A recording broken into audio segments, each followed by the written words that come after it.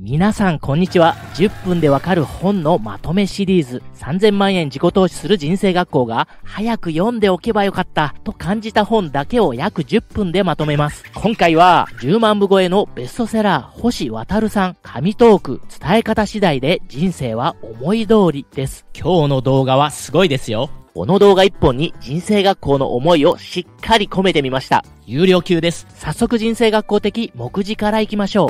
伝え方次第で人生は激変する。コミュ力の高い人が無意識にやっていること3選。コミュ力を劇的に上げるために絶対やめるべきこと3選。やると良いこと7選。1万人以上が実践して確実に効果を得ためちゃめちゃ再現性の高い方法です。使い方によっては効果がありすぎてしまいますので、絶対悪用しないでいただきたいと思う内容です。コミュ力を上げる話し方についていろんな本がありますが、この動画をご覧いただければ、究極に大事な部分についてはほぼ網羅されているはずです。それぞれ簡単に見ていきましょう。伝え方次第で人生は激変する。神トークとは、人に好かれることはもちろん、相手が自分の思い通りに動いてくれる状態でもあるんです。これ、伝え方次第なんです。あなたは、そんなつもりで言ったわけじゃないという経験ありませんか？伝え方は言葉の内容だけじゃなかったんです。簡単なポイントを押さえるだけで人生は激変どころか大逆転くらいに変わってしまうのです。その具体的な内容をこれからやっていきますね。コミュ力の高い人が無意識にやっていること3選。1、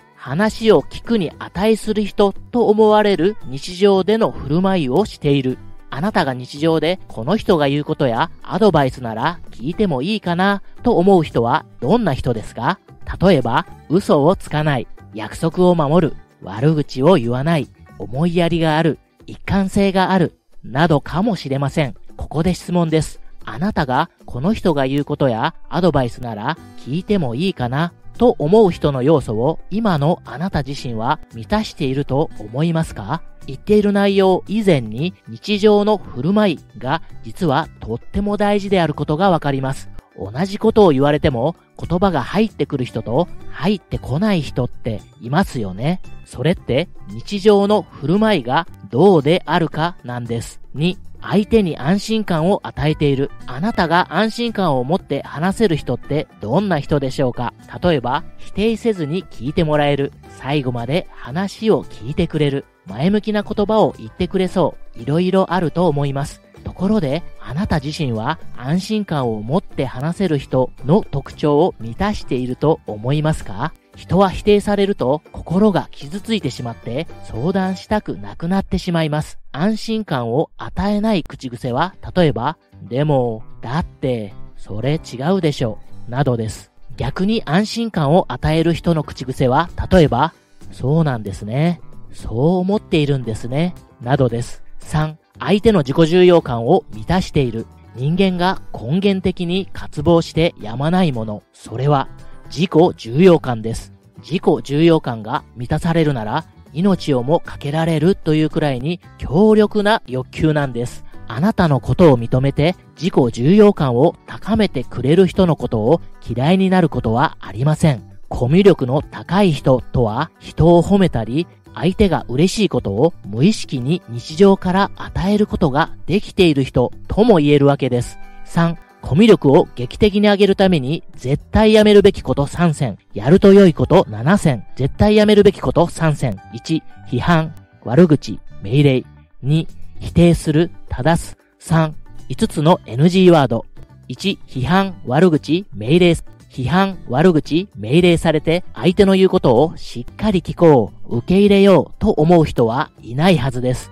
〇〇をやれというより、〇〇お願いできるかなとか、この場合はどうすればいいだろうちょっと教えてもらえるかなとアドバイスを求める方が相手のパフォーマンスが上がることが分かっています。2、否定する、正す。真正面から否定された時、その人を受け入れたいと思う人は少ないはずです。また、意見を正す人も同じです。あまり喋りたくないリストに入ってしまうんです。求めていないアドバイスをされても入ってこないというわけです。だからこそ、まずは相手にとって話を聞くに足る人物になることが先決なんですね。3、5つの NG ワード。これがめちゃめちゃ大事です。相手の自己重要感を傷つけない。あなたが今まで相手に言われた言葉や反応でイラッとした言葉はどんなものですか？例として代表的な5つを挙げておきます。それは違う。全然ダメ。何言ってるの？バカじゃないの？ありえない。いかがでしょうか？これらは自己重要感を傷つける言葉なんです。やると良いこと7選。1、名前で呼ぶ。2、褒める、アドバイス、褒めるのサンドイッチ。3、細かくアドバイスせず、答えは言わず、気づかせる。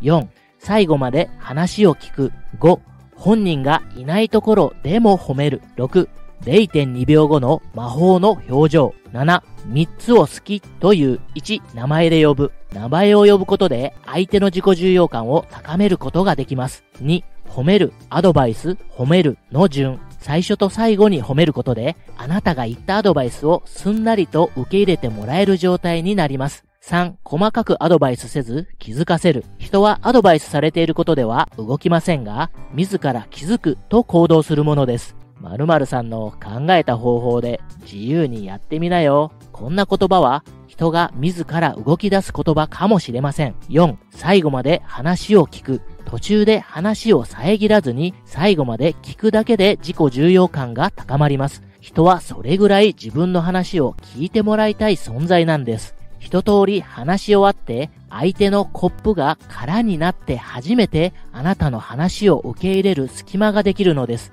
これがコップ理論です。5、本人がいないところでも褒める。あなたの良い噂が回り回って伝わってきた時ってめちゃめちゃ嬉しくないですか？だからこそ本人がいないところでも良い話をする人は信頼されるんです。褒めるときはたくさん人がいるところで、叱るときは個別でというのは有名ですが、本人がいないときに褒めたり、個別でもさらに褒められると、なお嬉しいものですよね。6、0.2秒後の魔法の表情。ある研究でいろんな人種や文化、風習などによって握手やハグなど独自の挨拶の形を持っていることが分かっています。その中である共通点を発見しました。それは誰かに出会った際にお互いに見つめ合ってから約0.2秒ほど眉を上げてその後に微笑むです。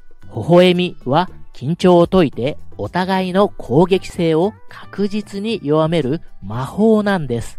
7、3つを好きという3つとは集団、行動、ものです。なぜこの3つに対して好きと言うといいのかというと、好きと発言する回数と信頼度が比例するからです。相手の所属する集団を好きと言い、相手の行動を好きと言い、相手のものを好きという風に伝えると、相手の脳は主語を理解できずに、自分のことが好きなんだと勘違いを起こすのです。ですので、相手が気がつかないうちに好意を伝えられます。好きという言葉の回数があなたの信頼度とも言えるかもしれません。この動画を見てくださっているあなたのその行動、大好きです。おまけです。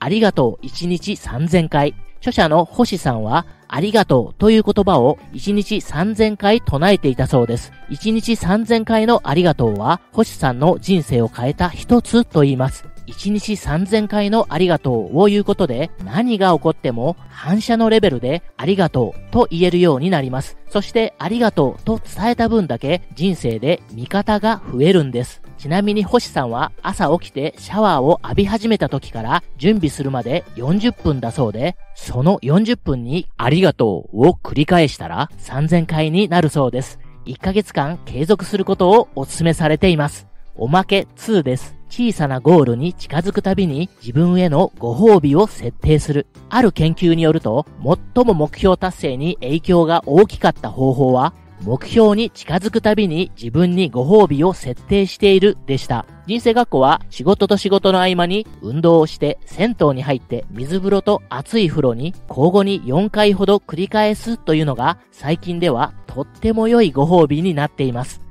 あなたはご褒美設定していますか？公式 LINE では潜在意識を書き換えて自分が持つ本当の能力を100%引き出して望み通りの豊かな人生を手に入れるための魔法の習慣を無料でプレゼントします。動画下にある概要欄から公式 LINE に登録してしばらく先になると思いますが次回の無料配信を楽しみにお待ちくださいね。無料でも有料級の配信をします。このチャンネルではあなたの人生を望み通りに近づけるために役立つ情報、早く読んでおけばよかった、最高と感じた本のまとめを10分程度で1週間に1本配信しています。有益な情報と感じるものだけを厳選しています。10分で人生を変えたい方は、ぜひチャンネル登録お願いします。メンバーシップでは3000万円以上自己投資して学んだ内容の濃い動画、全160本以上が、今でしたら本1冊分の値段で1ヶ月間視聴いただけます。ピンと来た場合はクリックしてみてくださいね。今回の星渡さん、紙トーク、伝え方次第で人生は思い通りには、さらに他の内容も盛りだくさんわかりやすく書かれていますので、興味のある方はぜひ手に取ってページをめくってみてくださいね。最後までお聞きいただきましてありがとうございました。